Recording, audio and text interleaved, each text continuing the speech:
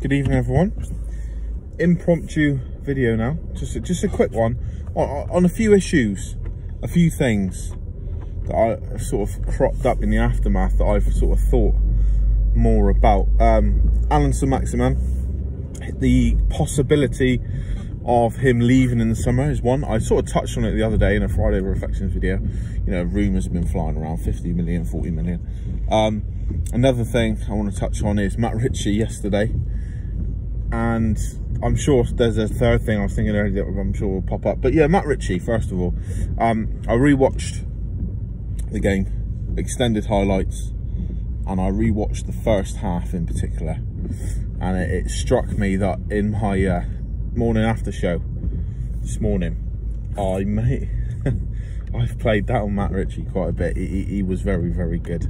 I said that he, he, was the same as Jacob Murphy, that he didn't have a bad game, he didn't have a fantastic game. But um, obviously I forgot to mention it was an assist for, for Dummett's goal. Um, which, yeah, okay, it's, it is an assist, but people don't rave about corners as much as say you would if it was you know when, whenever Beckham took a corner um, as soon as it was put in you would acknowledge the header but then you go oh Beckham corner of course. But um oh thank you. Yeah it, it was a fantastic ball floated in. Fantastic. Right right on Paul Dummett's head. He, he didn't even have to uh, run right he just had to get up good and boom in it went. Um, incredible cross. Also, um, the ball for Wilson's first goal, I believe, was was was a Matt Ritchie.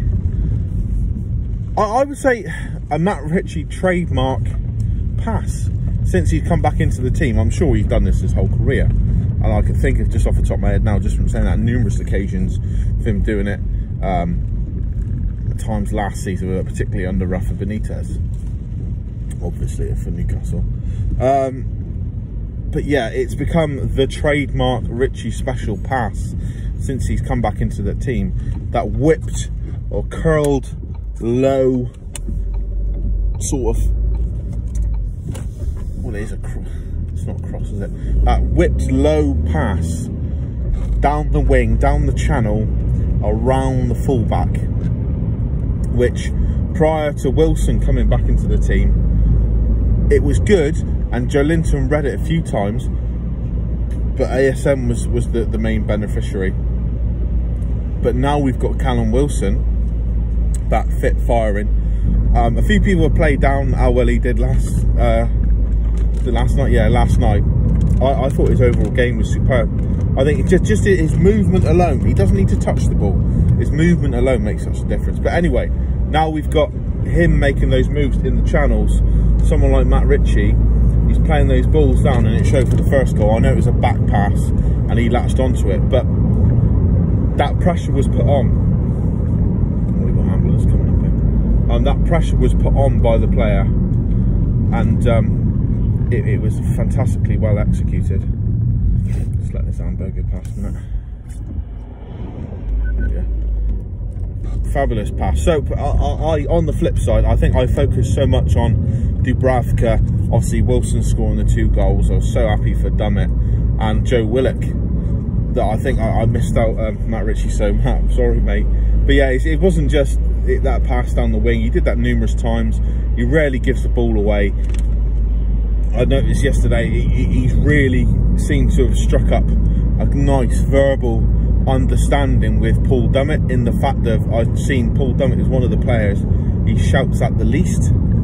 Um, it might be a different case on the field, I don't know. I'm obviously not there, but you know they seem to have got a good understanding between them. So it was a little bit um, disappointing to see Iheanacho um, that goal. Obviously, he, he, goes inside Dummett, then comes back inside Ritchie, who's covering him behind.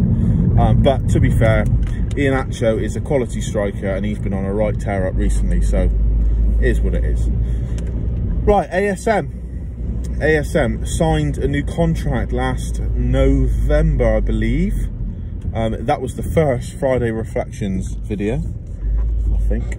I was driving home from work. Um, which ties him to the club, the club till 20 26. Now, since he's come back, he's been superb. At times earlier on the season, he's been, he was very, very good. Last season, at times, he was superb. So the question is, are we going to have serious offers for him this summer? I believe. Well, there's two questions. Are we going to have serious offers for him? Does he want to go? I think it's a no to both of those. I think ASM, there's quotes come out online saying he doesn't want, he, wants to be pushing up table, he doesn't want to be in another relegation battle. Absolutely fine. I get that. I, I, would like to think that's the attitude of every single player at Newcastle. I'd like to think there's no one there who just thinks, oh, you know, I'm just glad to be playing for Newcastle. I don't mind where we finish. You know, I just want to play for the team. Um, you know, so I'm glad that, that he's got that ambition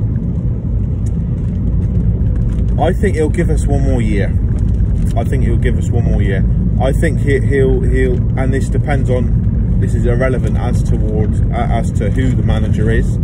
I think it'll be a case of, if it's still the Ashley regime, Lee Charnley and Steve Bruce as the manager, I think he'll say, do you know what, um, we've had two years now, we, we bought some quality players in the last summer, um, give it one more year with Bruce, see how if we can progress and go up the table and play more matches like that last night because that, that, that was very very good. I've got another uh, kind of monster on the go. Front foot football, front foot play, which is not something we've seen very often at all under Bruce. I mean, a few matches stick out. Um, this season, maybe the Everton away, uh, Burnley at home. No, I would say not even that. Everton away, um, Bournemouth away last season, maybe. But anyway, so he wants progress, and I think he gives Steve Bruce another year. Obviously, if we had a, a, new taker, if we if the takeover does happen, we have a new owner come in, fresh enthusiasm, fans are back. It'll be fucking an amazing place to play. Um, we'll have a better manager, so I think that would obviously keep him as well. Um, in terms of is anyone going to come in to buy him? In the current financial market with COVID, I don't think anyone is going to be able to afford him. And before you spit out your drinks or whatever, afford what Newcastle's valuation of him. Now, I'm sure there's X amount of teams who think he's probably, you know, with COVID, would, would want to buy him, but they don't want to pay any more than, say, 30 million. Considering Newcastle bought him for what, 15, I think? 15 million? So they wouldn't want to pay any more than, uh, I think it's 15 or 18, it might even be 20. But they wouldn't want to pay any more than 30 million. Newcastle, I imagine, have probably got somewhere in the region of 45 to 50 million on his head.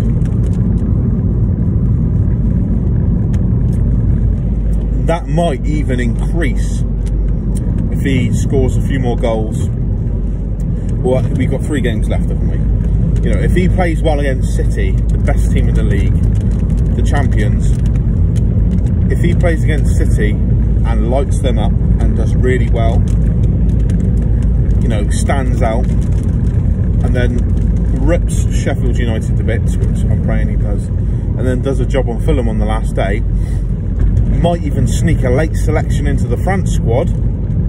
If that happens, then that price tag may increase. But in the current financial climate, I, I don't think any teams will pay what Newcastle want for him. I don't think many teams will think, do you know what? We rate him about 30 million, we'll pay 50 for him. Do you know, it just it, that money isn't around at the moment. Um, I think a lot of teams will go to Newcastle, what's your price? They'll go 50, 55 million, and they'll go, he's good, but he ain't that good. He's had quite a few injuries so it'll be interesting, interesting to see um, what happens, but I can't see him leaving in the summer.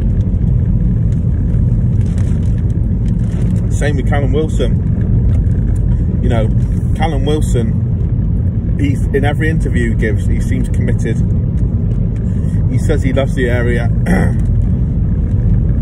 he's got a good relationship with the fans online. However, I mean, he's played at St James's Park before, obviously for, for Bournemouth, but um, he, he doesn't have the same um, he hasn't had that relationship with the fans on the pitch yet because obviously there's been no fans. So when we have our final game of the season, uh, Sheffield United, which let's be honest, we should be beating them. You know, Crystal Palace beat them convincingly earlier 2 0. Um, you know, if, if we have a, avoid anything other than a 9 0 defeat at City, you know, we should be raring to go for that Sheffield game. You know, unless we've got a load of injuries. Um, so it'll be brilliant that he, he'll be able to feel that appreciation and he'll come off that pitch, excuse me, thinking, wow, that's the atmosphere and noise 10,000 can make. And that's how much they love me. If he scores a goal or a couple of goals, they'll be thinking, Jesus Christ, I wonder what's going to be like with 50 or 1,000 there, what they'll think of me. So it'll be the same sort of thing.